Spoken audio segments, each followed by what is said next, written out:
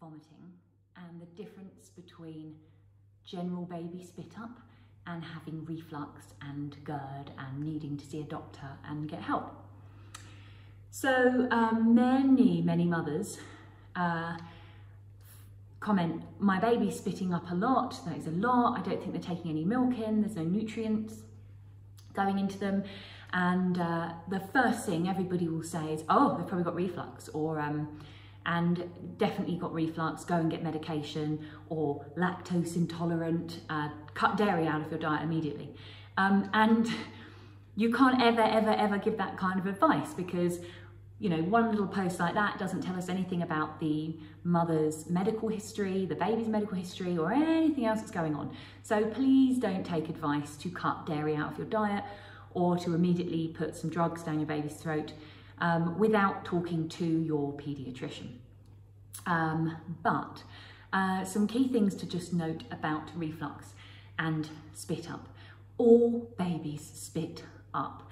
And this goes on for quite a few months um, because of a immature um, digestive system, okay? Um, and eventually it goes away, eventually it gets better and they stop spitting up as much. Um, some babies spit up and projectile vomit and they still don't have reflux. Um, something important to note and how to tell that you're probably just got a laundry problem and not a medical problem, as we would say. Uh, and the, the way to tell that is if your baby's projectile vomiting up, um, but kind of does it and then is okay and happy, then they're, they're probably just a really good spitter. Um, and um, And yeah, it's your problem, not theirs. Uh, you've got to do the washing. Um, but if they're spitting up a lot and, and clearly in a lot of discomfort and crying a lot, then, then that's something you probably do want to broach with your paediatrician and, and talk to them about. Um, if they are spitting up projectile vomiting a lot, but we don't think they've got reflux, there can be several things that are causing that before we look at reflux. The first one, it's a bad latch. Uh, and That is probably always one of the first sus suspect things with whatever the problem is. Um, so a bad latch.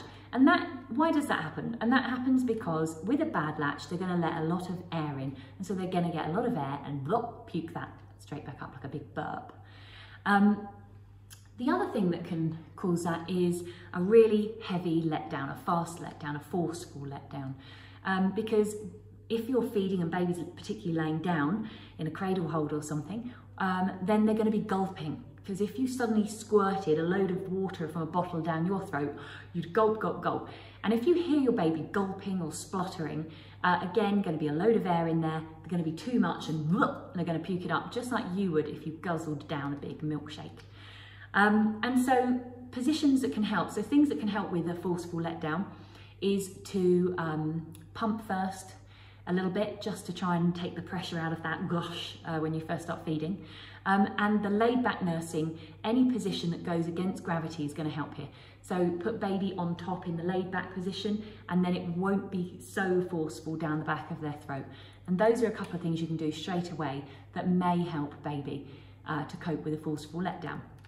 And if you do have one of those, normally by about six weeks, things regulate, start to slow down and you should notice a difference. Um, another problem that can cause that is tongue tie.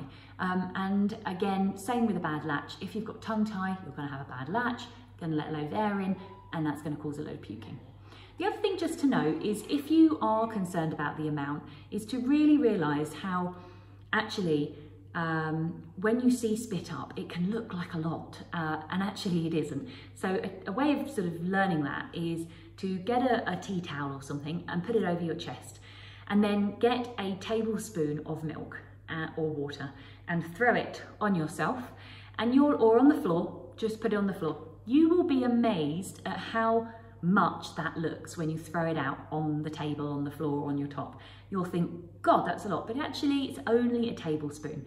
And so that should hopefully help you get in perspective that sometimes your your baby hasn't puked up 60 mils of milk. I mean, you know, if you want to know what that looks like, go pour 60 mils of milk on your floor and I think you'll realise your baby isn't puking up their entire feed and that they're probably okay. Um, like I said though, if your baby is vomiting, projectile vomiting, clearly in distress, crying a lot, then that's different. go and see your doctor, go and get a proper diagnosis. Um, but otherwise, I'm afraid it's a hold on tight, deep breath, this too shall pass. They will stop vomiting.